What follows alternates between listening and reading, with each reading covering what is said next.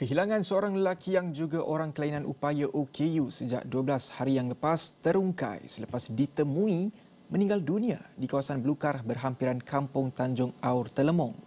Mayat mangsa Abdul Hadi Ismail, 37 tahun, ditemui dalam keadaan tertiarap kira-kira jam 9.30 pagi pada Selasa.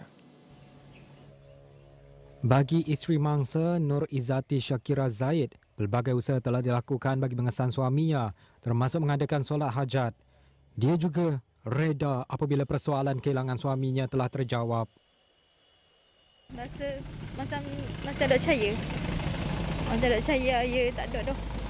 Sebab saya hari-hari menanti dia balik. Tadi macam mana dapat tahu?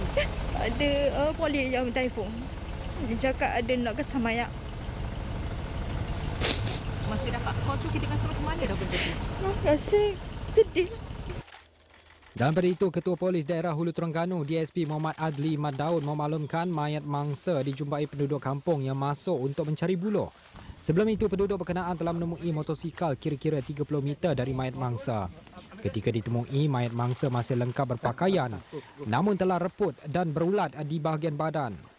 Hasil pemeriksaan mendapati tiada unsur jenayah dan mayat mangsa dibawa ke unit forensik Hulu Terengganu untuk tindakan lanjut. Sebelum ini media melaporkan kisah Nur Izzati mencari suaminya yang hilang selepas keluar rumah jam 12.15 minit tengah hari untuk menunaikan solat Jumaat pada 13 Mei yang lalu.